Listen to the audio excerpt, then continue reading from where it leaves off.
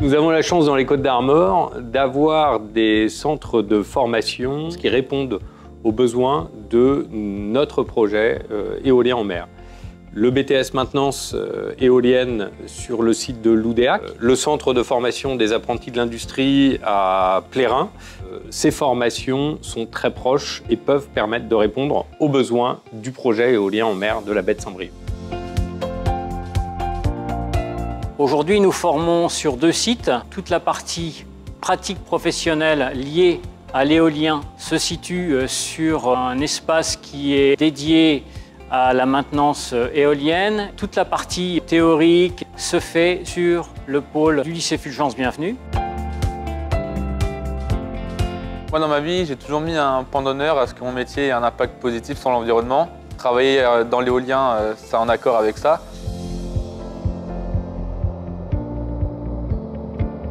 Grande partie pratique. Il y a beaucoup, beaucoup de TP euh, très divers, que ce soit en hydraulique, en pneumatique, en électrique. Les cours euh, généraux sont accessibles, assez concis et concrets. Notre objectif, permettre à des entreprises d'accueillir des salariés formés, compétents. Nous savons intervenir sur tous les métiers support, en passant par euh, le soudage, la chaudronnerie, mais aussi toute la partie maintenance, électrique, hydraulique, pneumatique. Et là, nous pouvons intervenir euh, à la fois en apprentissage, mais aussi pour euh, accompagner des reconversions. Le plus que nous pouvons mettre en évidence, c'est notre souplesse, notre réactivité et notre adaptabilité à une demande qui euh, semble très particulière et très spécifique. Recherchons des techniciens qui vont être installés sur les parcs. Pour nous, l'emploi local, la formation locale sont très très importantes dans nos recrutements futurs. On s'adresse aux acteurs locaux de la formation et avoir toutes les compétences requises pour démarrer nos projets d'éolien, que ce soit l'éolien terrestre ou l'éolien offshore dans la région de la Bretagne et notamment sur le parc offshore de Saint-Brieuc à venir.